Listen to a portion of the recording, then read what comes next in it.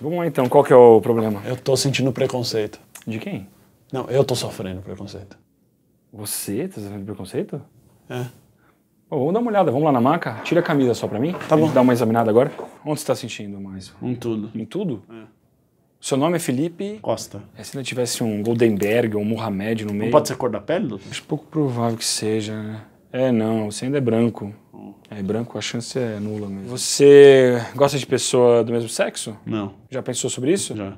Tem certeza? Absoluto. Te incomoda, gatão? Um pouco. Dá uma respirada funda e fala assim: Eu tava comendo gerimum. Que? Eu tava comendo gerimum. Que é isso? Hum, tá.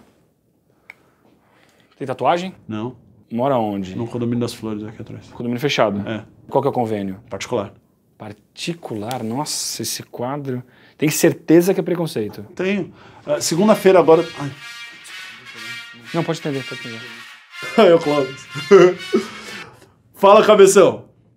Eu deixei baixando lá em casa, pode deixar. Falou, mano.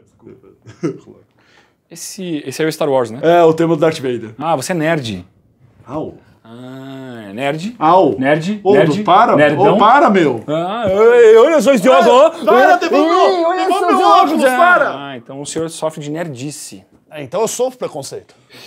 Olha, não, o seu caso é mais, mais tranquilo, mais suave, mais raro também. Dá pra gente tratar isso. Eu achei que preconceito tinha sido erradicado, sabia? Não, não. Preconceito ainda é uma das maiores causas de óbito no planeta, né? Não só no Brasil, aliás. Preconceito mata? Mata, ou se mata. Mas o seu caso é mais tranquilo, tá? É só você evitar MMORPG e dado de quatro faces. Daqui a seis meses a gente marca aqui um retorno. Obrigado, doutor. Imagina, obrigado a você. Chama o próximo pra mim, por favor. Claro. Obrigado.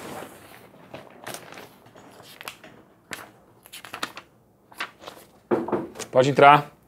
Grande Paulo. Pode sentar. Obrigado.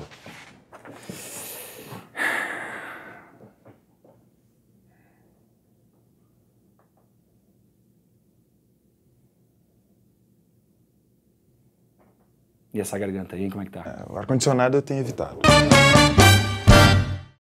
Só pra cadastro, você é cantor de pagode, é isso? Eu toco pandeiro também.